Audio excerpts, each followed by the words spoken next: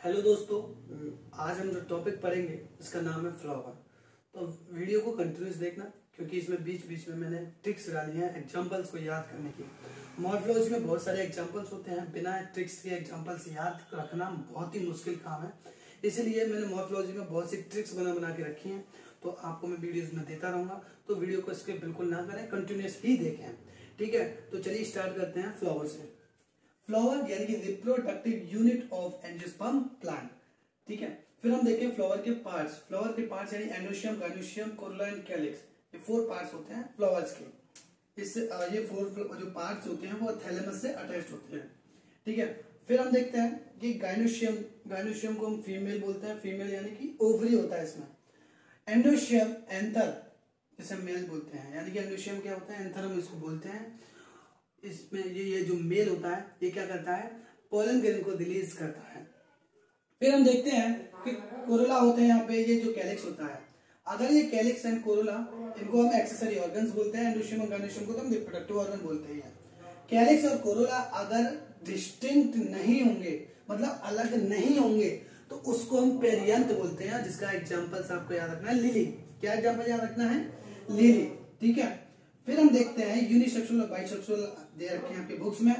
Unisexual क्या होता है? यदि एंडोशियम हो केवल तो उसको हम यूनिसेक्सुअल बोलते हैं। या फिर गाइनोशियम केवल हो तो उसको हम यूनिसेक्सुअल बोलते हैं। ठीक है? बाइसेक्सुअल का मतलब एंडोशियम और गाइनोशियम दोनों ही पाए जाएँगे एक प्लांट में। ठीक है? जैसे आप ये डायग्राम देख रहे होंगे, इसमें जो गाइनोशियम भी मौजूद है एंडोशियम भी मौजूद है तो इसको हम बाइसेक्सुअल बोलेंगे। अगर इसमें केवल एंडोशियम होता गाइनोशियम नहीं होता तो इसको हम यूनिसेक्सुअल बोलते हैं या फिर गाइनोशियम होता एंडोशियम नहीं होता। ठीक है? फिर हम देखते हैं बेसिस ऑफ़ सिमेट्री के बेसिस पे फ्लावर्स को हम देखते हैं। बेसिस ऑफ़ सिमेट्री के बेस पे एक्ट्रोमार्फिक और जाइगोमार्फिक दो टाइप्स में हमने फ्लावर्स को बांटा हुआ है। फिर हम देखते हैं कि एक्टिनोमार्फिक रेडियल सिमेट्री है। टू रेडियल सिमेट्री क्या होता है? देखिए two equal radial half in radial plane passing through centre देखिए रेडियल सिमेट्री होता क्या है? जैसे मान के चलिए कि सर्कल है है ना? अगर मैंने इसको रेडियली सेंटर से टू इक्वल हाफ़ में डिवाइड कर दिया तो ये क्या हो जाएगा? रेडियल सिमेट्री हो जाएगा। अच्छा यहीं से नहीं, अगर मैं यहाँ से भी काटता हूँ, तब भी ये टू टाइप्स में डिवाइड होता। अगर मैं इसको यहाँ से भी काटता, तब भी ये टू टाइप्स में डिवाइड होता। तो इसको क्या बोलते हैं? रेडियल सिमेट्री यानी कि किसमें आती है एक्टिनोमॉर्फिक में आती है। फिर, इसके जो एग्जाम्पल्स याद रखने हैं वो आपको, वो है datura mustard chilli datura mustard chilli देखिए, इसकी जो मैंने ट्रिक बनाई थी, वो क्या थी कि देखो यहाँ पे एक्टिनोमार्फिक में एक्शन लिखा हुआ है सबसे पहले। तो एक्शन मतलब एक्शन मूवी एक्शन मूवी में क्या है? बिना धमक के क्या एक्शन मूवी चल पाएँगी नहीं? उनमें धमक होती है तभी वो चल पाती है मूवी ठीक है? तो धमक से हमें याद रखना है। डी ए से धतूरा एम ए से मस्टर्ड एंड सी से चिली ठीक है? ये याद रख लोगे? ठीक है। फिर हम देखते हैं आगे जाइगोमार्फिक। जाइगोमार्फिक क्या होता है? इसमें बाईलेटरल सिमेट्री आती है। क्या आती है? बाईलेटरल सिमेट्री तो याद रखना, बहुत ही आसान है। जाइगोट जाइगोट, समझते हैं। एक स्पर्म एक ओवम आपस में मिलते हैं, तब जाइगोट बनता है। ऐसा ही कुछ लॉजिक लगाना है हमें यहाँ पर भी, कि ये जो जाइगोमार्फिक आप देख रहे हैं, एक स्पर्म एक ओवम आपस में मिलते हैं तो उस वो वो, उसको हम जाइगोट बोलते हैं, और वो किन से मिला होता है? दो चीज़ों से, यानी कि बाई चीज़ों से मतलब बाई लेटरल सिमेट्री ऐसा आप लॉजिक से याद रख सकते हैं। ठीक है? फिर हम देखते हैं two similar half in one particular vertical plane यानी कि देखिए इसमें क्या कह रहा है? अगर जैसे आपको ये डायग्राम दिख रहा है, अगर मैं इसको केवल यहाँ से काटूँगा एक बार में तो ये केवल दो भागों में बट गया तो ये समान हो गया।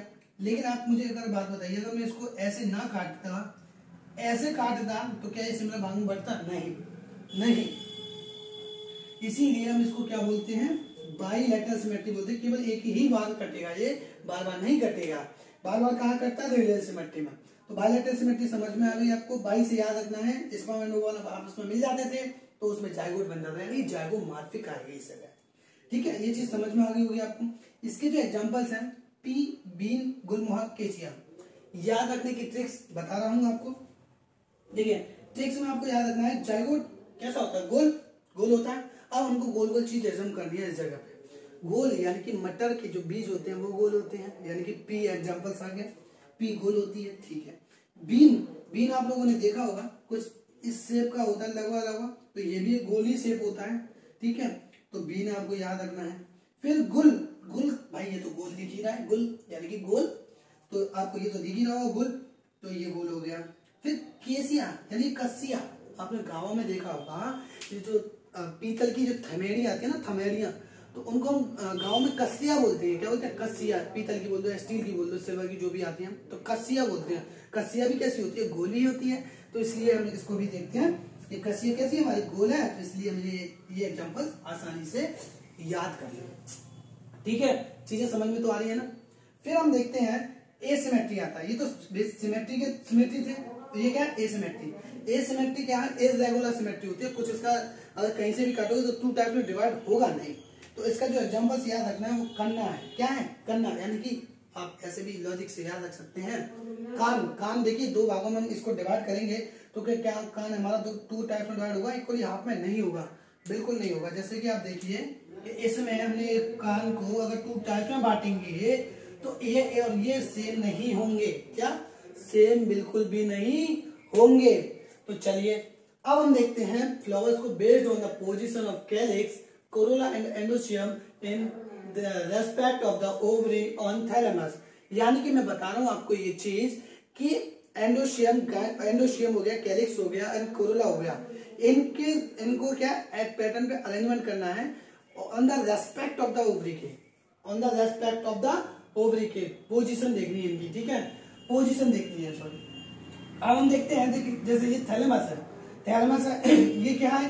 गाइनोशियम है। अब ये चीज़ देखनी है कि गाइनोशियम के नीचे ही तो देखिए, ये पहला जो डायग्राम देख रहे हैं आप, ये गाइनोशियम के नीचे अदर पार्ट्स आ रहे हैं कि नहीं आ रहे हैं? जैसे एंडोशियम हो गया कोलोला हो गया कैलिक्स हो गया, ये सारे क्या नीचे आ रहे हैं। अब नीचे आएँगे तो ये किसमें आ जाएगा? हाइपोगाइनस में। क्योंकि हाइपो का मतलब क्या होता है? नीचे, कम। हाइपो का मतलब क्या होता है? जैसे आप देखिए हाइपो का मतलब होता है कम, नीचे, है ना? कम मतलब नीचे। और गाइनस मतलब ओवरी के। तो इसलिए हम इसको क्या बोलते हैं? हाइपोगाइनस अच्छा सुपीरियर ओवरी क्यों बोलते हैं? अब देखिए सुपीरियर ओवरी आ रही है तो सुपीरियर का मतलब तो ऊपर तो यानी कि जो ओवरी होगी वो कहाँ होगी? ऊपर होगी। समझ में आ रही है ना चीज़ें? ठीक है? अब देखते हैं दूसरा, देखिए पेरीगाइनस में। पेरीगाइनस का मतलब जो ओवरी होगी और जो अदर पार्ट्स होंगे, वो सेंटर मतलब मिडिल मिडिल लेयर होंगे मिड है ना? जैसे कि देखते हैं ovary present in the centre ovary centre पे प्रेजेंट होगी other parts attach from the rim of the thalamus यानी कि जो अदर पार्ट्स होंगे वो रिम ऑफ़ थैलेमस इसको हम रिम ऑफ़ थैलेमस बोलते हैं। क्या बोलते हैं इसको? रिम ऑफ़ थैलेमस मैं एक मिनट लिख देता हूँ। रिम ऑफ़ थैलेमस ठीक है, इसको हम क्या बोलते हैं? रिम ऑफ़ थैलेमस तो यहाँ से ओवरी तो सेंटर में मौजूद है, लेकिन जो अदर पार्ट होंगे रिम ऑफ़ थैलेमस से रिलीज़ होंगे। तो इसके जो एग्ज़ाम्पल याद रखना आपको plum peach rose plum peach rose देखो, इससे आपको ट्रिक से याद रखनी थी पेरी मतलब परी पेरी मतलब परी तो मैंने जो ट्रिक्स बनाई वो यहाँ पे देखिए, पापा की रोने वाली परी। पापा की रोने वाली परी। तो प्लीज़ गर्ल्स जो है, बुरा मत मानना, इस चीज़ को मैंने केवल ट्रिक्स ही बनाई है। तो पापा की रोने वाली परी है तो पापा से पी से यहाँ पर प्लम आ जाएगा, फिर दोबारा पी से पीछ आ जाएगा, रोने वाली से रोज आ जाएगा और परी से मतलब पेरी आ जाएगा। मुझे इससे अच्छी कोई ट्रिक नहीं लगी, इसलिए मैंने ये बना दी आपकी ठीक है? अच्छा हाइपोगाइनस में हमने एग्जांपल देखते हैं एक मिनट। हाइपोगाइनस की जो डेफिनेशन क्या कर है? Below the ovary present other parts of the flower यानी कि ओवरी के नीचे ही सारे पार्ट जो है अराइज होंगे। ठीक है? ये हाइपोगाइनस में आ गई। इसके एग्जांपल्स क्या है? ब्रिंजल मस्टर्ड चना रोज। आप इसको एग्जांपल्स और जो ट्रिक्स याद है, वो ऐसे याद रख सकते हैं। B M C short form से आप याद रख सकते हैं। इसको इसको मुझे कोई ट्रिक्स नहीं। मिली तो इसलिए मैंने आपको क्या बता दी बीएमसी से आप याद रख सकते हैं। फिर हम देखते हैं एपीगाइनस एपीगाइनस का अच्छा पेरीगाइनस और जो पेरीगाइनस है, इसको हम हाफ़ इंफीरियर ओवरी भी बोलते हैं। ना, जो इंफीरियर ओवरी है, क्या कहते हैं ओवरी जो है, पूरी नीचे नहीं है। हाफ़ है आधी है, इसलिए हम इसको हाफ़ इंफीरियर ओवरी बोलते हैं दोनों को। ठीक है, ये दोनों ही इसके एग्जांपल है पेरीगाइनस के। तो ऐसा भी ऐसा हो सकता है, ऐसा भी डायग्राम हो सकता है। अब देखें एपीगाइनस की तो एपीगाइनस में क्या होगा कि जो ओवरी है, वो नीचे होगी और अदर पार्ट जो है ऊपर होंगे ओवरी के। ठीक है? जैसे एग्जांपल्स देखिए, जो थ्योरी वो देखिए। Ovary is completely fused with the thalamus and other parts arise above the ovary ठीक है? ये चीज़ समझ में आ गई इसके जो एग्जांपल्स है, वो क्या है? Guava cucumber and ray florets of sun flower देखिए सनफ्लावर की तो मैंने यहाँ पे ट्रिक्स बना दी थी, यानी कि एपिगैनस में पीछे देखिए, क्या आ रहा है? S O S U O N तो आप इसको सन से भी याद रख लो, ठीक है? और क्या नाम है? एपी और एपी का मतलब जो एपी आपने जूस पिया होगा, वो किसका आता है? सेब का आता है एपी देखिए, यहाँ पे जो जूस है, वो किसका है? गुआवा एंड कुकुम्बर का है। अगर यहाँ से नहीं समझ पाते तो यहाँ से देख लीजिए, आपने अमरूद खाया होगा, अमरूद यानी गुआवा खाया होगा तो गुआवा को अगर काटोगे आप तो कुछ ऐसा डायग्राम भी दिख सकता है। और अगर आप खीरे को यानी कि कुकुम्बर को भी काटोगे तो भी वो कुछ ऐसा डायग्राम दिखता है, आप ऐसे भी याद रख सकते हैं चीज़ों को। ठीक है? तो अब जो लास्ट टॉपिक है हमारा, वो क्या है? इन्फ्लोसेंस इन्फ्लोसेंस क्या है? The arrangement of flower on the floral axis है ना? यानी कि फ्लावर्स का फ्लोरल एक्सिस पे अरेंजमेंट क्या कहलाता है? इन्फ्लोरेसेंस कहलाता है। अब देखिए इन्फ्लोरेसेंस टू टाइप्स का होता है मेजोरिटी में देखें, अगर मेजर देखें तो टू टाइप्स का ही होता है। तो रेसिमोस एंड साइमोस रेसिमोस में एक्रोपिटल सक्सेशन होता है, और साइमोस में बेसिपिटल होता है। और देखिए, इसको जो याद रखने की वो मैंने ट्रिक है, वो देखिए यहाँ पे क्या आ रहा है। रेसिमोस में एसी आ रहा है, और एक्रोपिटल में भी एसी आ रहा है। तो इसलिए हम इसको एक्रोपिटल सक्सेशन या क्या रखेंगे? रेसिमोस रख देंगे। बाकी का बच्चा साइमोस को हम बेसिपिटल में रख देंगे। फिर हम जो छोटी सी एक चीज़ है, वो देख रही है ये है कि एक्रोपिटल का और बेसोपिटल का डायग्राम देखना है। इसको याद रखने की भी मैंने ट्रिक बनाई है कि देखिए बेस पीटल का मतलब देखिए, यहाँ पे देखिए क्या लिखा है बेस मतलब बेस क्या है? आधार मतलब नीचे वाला पार्ट पतला पीटल मतलब पतला। तो ये जो बेस वाला पोर्शन है, वो क्या होगा? पतला होगा।